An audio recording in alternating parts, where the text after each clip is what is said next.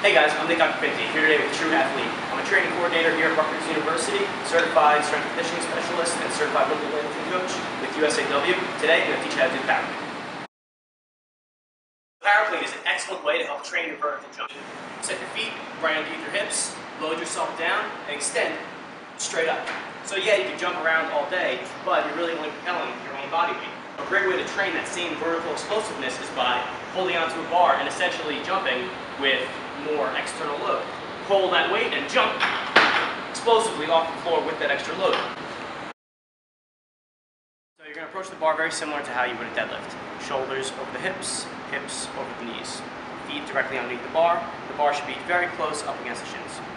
Uh, in this position, you want to make sure that you have your shoulder blades pulled back and maintain a good flat lumbar spine. Don't want it to be overarched, but you also don't want it to be arched out the other way. You're going to start pulling up, driving through the heels, while maintaining that same exact torso angle. Once you get past the knee, you're going to continue that pull, drive up with so much force that you're going to launch up onto your toes, continue to pull and jump shrug. You should have generated enough force with your lower body that this bar can fly up and hit the ceiling. What you're going to do then is guide your arms, pulling nice and close, elbows high and outside, and then whip your elbows forward, catching the bar in that tight front rack position.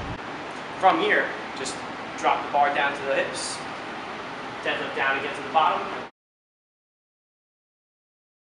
So one thing to remember, guys, um, this is explosive exercise supposed to help develop lower body explosiveness. This is not a reverse biceps curl. There's no way I'm going to reverse curl this. I'm nowhere near the upper body strength to do that. So I'm going to, like I said before, use the legs. Use the lower body to help drive up. Explode that bar to my shoulders. All right, thanks for watching. Uh, make sure you head over to the TrueFit blog over at trueathelite.com for more videos and articles on ways to improve your basketball.